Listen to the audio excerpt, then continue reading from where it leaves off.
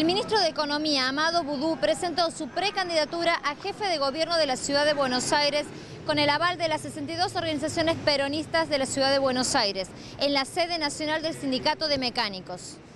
Nosotros vamos a acompañar la candidatura a jefe de gobierno del compañero Amado Budú en la capital federal, compañero.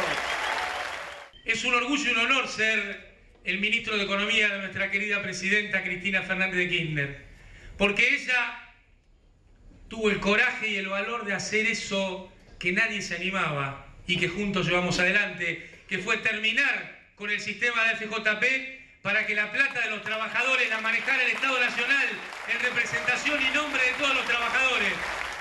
Bueno, buscando construir una candidatura con el máximo nivel de apoyos y una candidatura que tenga como eje eh, al frente para la victoria, pero que integre también la mayor cantidad de sectores afines posibles. Dijo Néstor Kirchner que florezcan mil flores y está bueno que haya muchos candidatos eh, justamente para que la oferta electoral que haga el Frente para la Victoria sea eh, lo más consolidada y lo más amplia posible. Ni siquiera están los tiempos, ni siquiera está ordenado el cronograma electoral de la Ciudad de Buenos Aires, así que hay que ver cuáles son los tiempos y qué es lo más conveniente para la función. ¿Se propone con esto una articulación entre el Gobierno Nacional y la Ciudad de Buenos Aires con esta candidatura suya? Mire, eh, esto es importante entre todas las jurisdicciones del país, las gobierne quien las gobierne.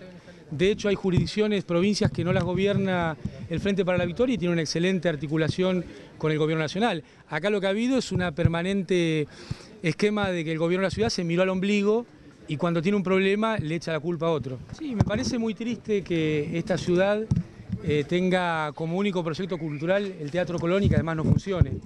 Eh, esta ciudad fue donde reverdecieron todas las expresiones eh, culturales, populares de la República Argentina. nosotros lo que vamos a prometer son los planes concretos de obra pública que vamos a dar a conocer porque esta ciudad requiere mucha obra pública. Los problemas, los problemas de la ciudad de Buenos Aires asociados al crecimiento de la Argentina no se resuelven con 100 bicicletas, se resuelven con inversión en obra pública.